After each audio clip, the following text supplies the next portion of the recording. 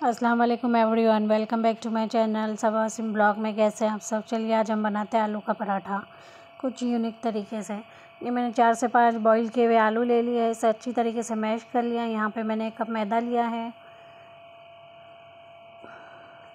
एक कप गेहूँ का आटा लिया है, यहाँ पे 125 ml दूध ले लिया है मैंने। दूध को गुनगुना कर लिया है, दो टेबल स्पून तेल ले लिया है, यहाँ पे हरा धनिया है कटिंग किया हुआ चीज़ ग्रेट की लिया है मैंने यहाँ पे यहाँ पे मैंने हाफ़ टी स्पून आमचूर पाउडर लिया, हाफ़ टी स्पून हींग लिया, हाफ़ टी स्पून ज़ीरा और धनिए का पाउडर लिया है, हाफ़ टी स्पून अक्की लाल मिर्ची कुटी हुई लिया है मैंने, नमक ले लिए, एक टी स्पून नींबू का रस ले लिया आधा हाफ़ टी स्पून हल्दी ले लीजिए, या नमक आप अपने टेस्ट के हिसाब से लिए बॉईल किए हुए आलू में हम सबसे पहले ऐड करेंगे गेहूँ का आटा, उसमें ऐड करेंगे मैदा आलू की क्वांटिटी ज़्यादा रखना है, आटे के हिसाब से।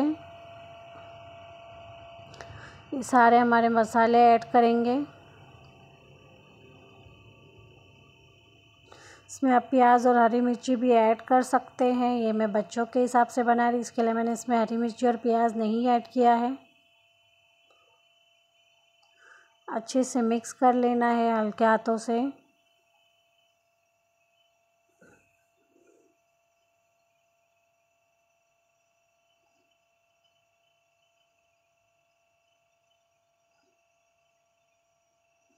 दो टेबल स्पून दो टीस्पून तेल ऐड करना है इसमें।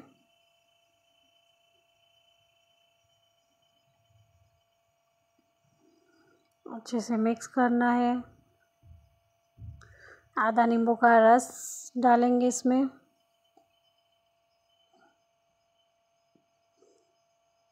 हल्के हाथों से गूंदना है, आटे के जैसा हमें नहीं गूंदना है। अच्छा सा फाइन डो बना लेना है इसे। थोड़ा थोड़ा दूध डाल के हमें गुनना है। दूध को मैंने हल्का गुनगुना रखा है।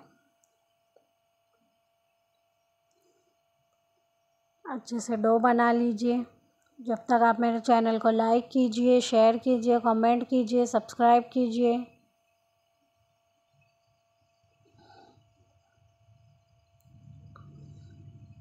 दूध हमें पूरा नहीं लगेगा थोड़ा थोड़ा करके ही ऐड करना है। जितना दूध हमें उसमें लगे, उस तरीके से ही ऐड कीजिए।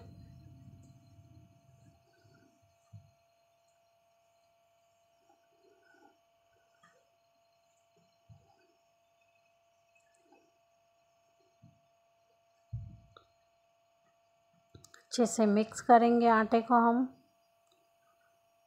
यहाँ मैंने तेल लगा लिया है। आधे घंटे के लिए इसे रेस्ट करने रख देंगे हम। हमारा आधा घंटा हो चुका है। एक पेड़ा बना लेंगे। इसे रोटी की तरह बेल लेंगे।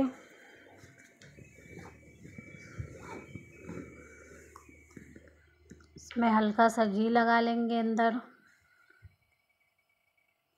सूखा आटा लगाएँगे। ग्रेट की भी चीज़ ऐड करेंगे। अच्छे से इसे चारों तरफ़ से फोल्ड कर लेंगे। और पराठे पराठे की तरीके से बेल लेंगे। जिस तरीके से पराठा बनाते हैं, वो हिसाब से आप बेल लीजिए। पे हल्के हाथों से बेलना है, वज़न नहीं देना है।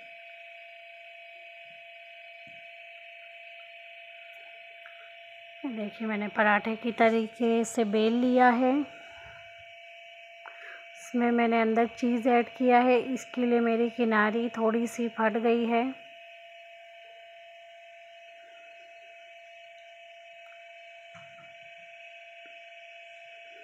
अच्छे से घी लगा के हमें सेक लेना है।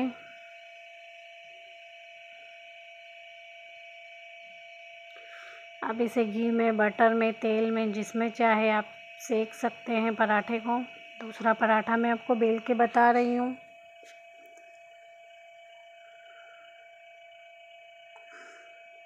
दूसरे पराठे को भी उस तरीके से घी लगा के हल्के हाथों से सेक लेना है। आप चाहे तो इसमें मोज़रेला चीज़ भी ऐड कर सकते हैं।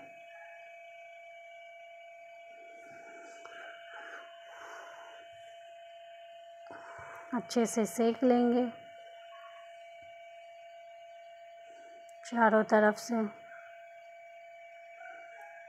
करके अच्छी तरीके से चारों तरफ़ से सेक लीजिए आप चाहे तो बड़ा भी थोड़ा बना सकते हैं। मैंने मीडियम साइज़ के बनाए हैं पराठे। ब्रेकफास्ट के आइटम है किसकी आइटम है?